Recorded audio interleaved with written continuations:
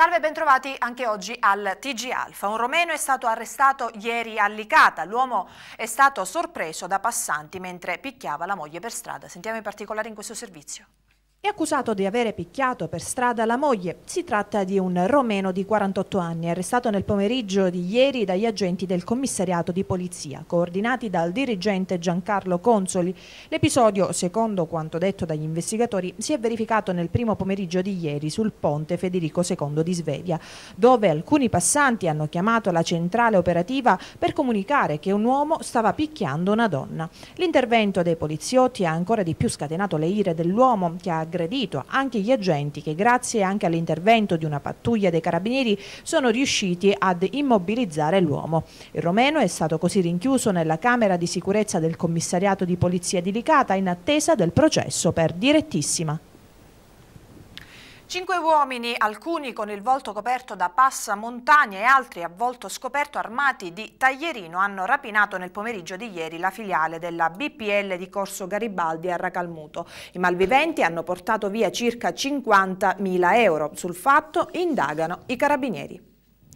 Il giudice di pace di Aragona ha condannato all'ANAS a risarcire i danni subiti da un automobilista, CS queste le iniziali, rimasto coinvolto in un incidente stradale avvenuto lungo la strada statale 189. L'uomo era alla guida della propria Mercedes quando l'auto che lo precedeva investiva delle tavole presenti sulla propria corsia di marcia che finivano col proiettarsi sull'auto di CS, frantumando il parabrezza e causando la perdita del controllo del veicolo. Il giudice di pace ha accolto la tesi del difensore di CS, l'avvocato Marco Patti. Nella sentenza viene dichiarato che nel caso di strade aperte al traffico è certo che l'ente proprietario, quindi nel caso eh, di specie è l'ANAS, una volta verificato che l'evento dannoso è a causa di un'anomalia della strada stessa, è sempre configurabile la responsabilità dell'ente pubblico custode, salvo che questi non riesca a fornire idonea e adeguata prova di non aver potuto fare eh, nulla per evitare il danno, evocando il caso fortuito. Un agrigentino ricercato dal 2006 è stato arrestato dai carabinieri. Si tratta di Giuseppe Gandolfo Siragusa, di 57 anni. Il fermo dell'uomo è avvenuto a seguito di alcuni episodi di truffa messi in atto dall'agrigentino e due giovani studenti palermitani. I tre si spacciavano per promoter della società che fornisce l'energia elettrica, cercando di convincere a firmare il contratto i possibili clienti adescati nel centro storico di Prizzi. Dopo la segnalazione di alcuni cittadini militari, militari dell'arma sono riusciti ad individuare le tre persone che arrotondavano con questa truffa. A seguito dell'identificazione hanno riscontrato che a carico di Siracusa pendeva un provvedimento di cattura per truffa commessa a Firenze nel 2006 e dovrà scontare una pena di otto mesi di reclusione. La giunta regionale presieduta da Rosario Crocetta ha decretato lo stato di calamità per il crollo di una porzione della campata centrale del Ponte Verdura lungo la strada statale 115 sud-occidentale Sicula a Ribera. Il provvedimento è stato adottato con l'obiettivo di accelerare le procedure per il ripristino del viadotto.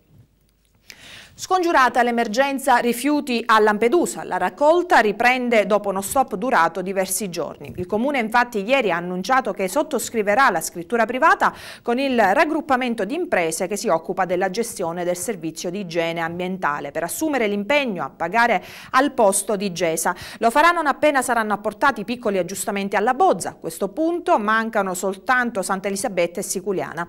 Il resto dei comuni ricadenti nell'ambito di Gesa ha firmato le scritture culture.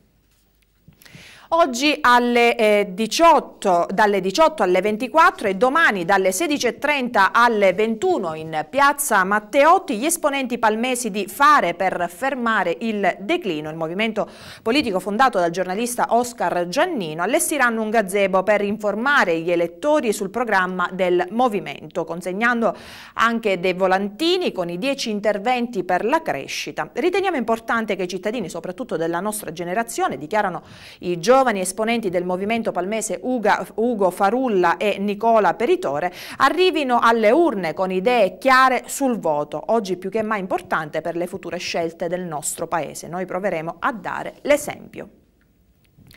Il presidente della Camera, Gianfranco Fini, leader di FLI e candidato con la lista Monti, domani farà tappa ad Agrigento alle 15.30 al Cinema Assor per una convention. Inaugurato in via Seneto ad Agrigento il comitato elettorale di Salvatore Iacolino, candidato al Senato nella lista di Grande Sud. Giuseppe Fortino, già presidente del Consiglio Comunale di Campobello di Licata, è stato nominato coordinatore cittadino di Voce Siciliana dal leader del movimento Parlamento Michele Cimino. L'ex assessore provinciale Marino Ragusa e il consigliere provinciale Pellegrino Quartararo hanno deciso di abbandonare l'MPA per aderire all'Udc di Casini.